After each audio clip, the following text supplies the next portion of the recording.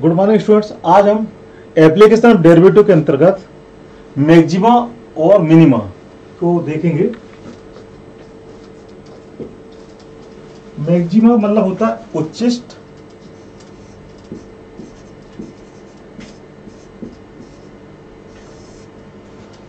तथा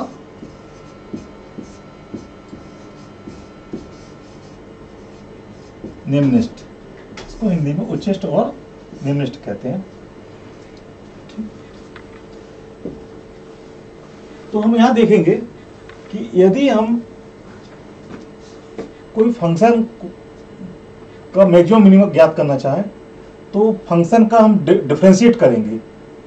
यदि डिफ्रेंशिएट को हम f dash x equal to zero लेके चले f dash x equal zero और यदि हम यहाँ पर मान लो एक्स की वैल्यू है, और एक्स के नीचे पहले एक्स माइनस एच पर एफ़ डेस एक्स का मान पॉजिटिव आता है। यहाँ पर क्या आता है? एफ़ डेस एक्स पॉजिटिव और यदि यहाँ पर आगे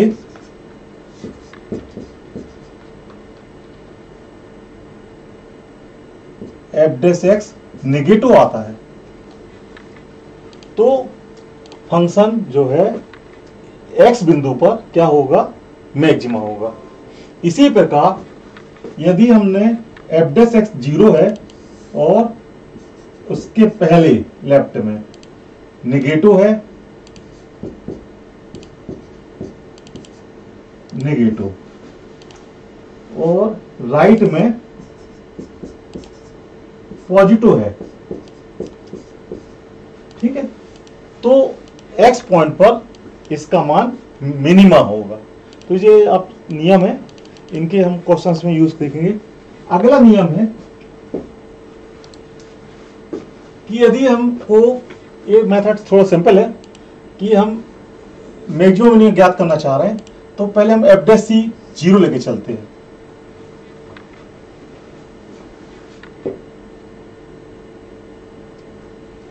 क्लियर एफ़ सी ज़ीरो लेके चलते हैं और यदि डबल डेरिवेटिव सी पॉइंट पर नेगेटिव हो तो सी बिंदु पर उच्चतम मान मिलेगा।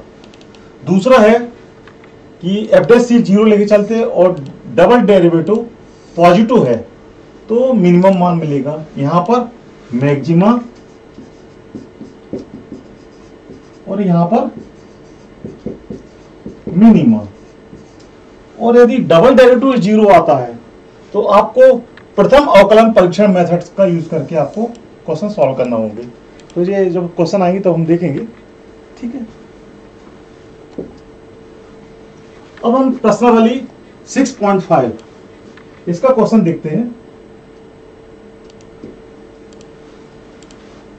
हमको इसका मैक्सिमम या मिनिमम ज्ञात करना है।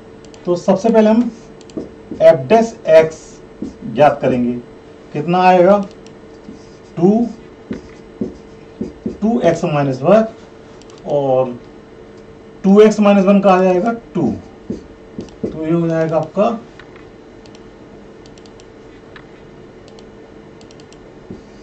eight X minus four. Clear? इसको हम ज़ीरो लेके चलते हैं। तो आपको सी की, एक्स की वैल्यू क्या मिल जाएगी? Four by eight one by two clear ये एक्चुअली आपका सी का मान है। सी ठीक है? अब हम इसको डबल बार डिफ्रेंशिएट करते हैं। डबल डे तो कितना आ गया? Eight eight X minus four का डिफ्रेंसिएशन एट और एट क्या है? पॉजिटिव है। इसका मतलब होता है कि c बराबर वन बाई टू पर फलन एफ़ निम्निष्ट है। निम्नतम मान है।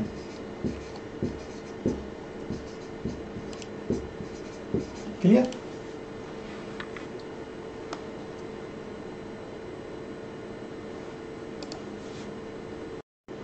चलिए, अब हम इसी प्रकार से क्वेश्चन थ्री का फ़र्स्ट देखते हैं। एफ़ एक्स इक्वल टू दिया हुआ है एक्स स्क्वायर इसका डिफ्रेंसिएशन कितना हो जाएगा? F dash X equal zero मतलब two X this imply X equal to zero अब हम इसको एक बार और डिफ्रेंशिएट करेंगे तो कितना हो जाएगा? टू और टू क्या है? पॉजिटिव है। इसका मतलब x इक्वल टू ज़ीरो पर फलन f का मान निम्नतम होता है। निम्नतम मतलब मिनिमा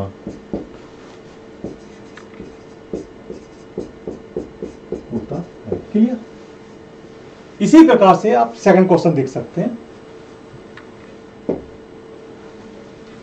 अब हम देखते हैं क्वेश्चन नंबर नाइन में। साइन एक्स यहाँ पर क्या दिया हुआ? Nine. F X equal to दिया हुआ है। Sine X plus cos X इसका हमको उच्चतम मान ज्ञात करना है। क्लियर? तो सबसे पहले हम अवकलन करेंगे।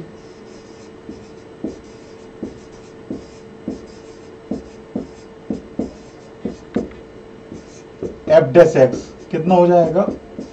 साइन एक्स का डिफरेंशियल कॉस एक्स और कॉस एक्स का डिफरेंशियल साइन एक्स और इसको बराबर हम ज़ीरो लेके चलते हैं तो ये वैल्यू आ जाएगी आपकी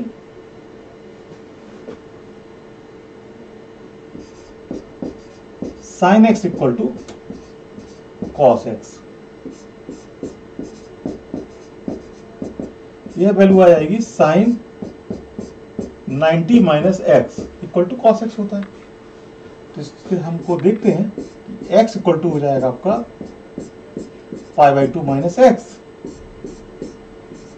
two x equal to five by two. X equal to five by four. Clear अब हम एक और बार डिफिजिट करेंगे। एफ़ डबल एफ़ डेक्स तो इसकी वैल्यू कितनी हो जाएगी? कॉस एक्स का डिफरेंशियल होगा माइनस साइन एक्स और साइन एक्स का डिफरेंशियल है कॉस एक्स अब हम एक्स के स्थान पर फाइव बाई फोर रखते हैं तो ये हो जाएगा minus sine pi by four minus cos five by four इसकी वैल्यू आ जाएगी minus one by root two minus one by root two तो ये हो जाएगा? Minus two upon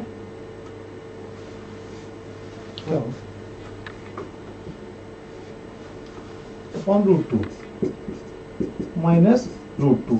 यह क्या वैल्यू है? निगेटिव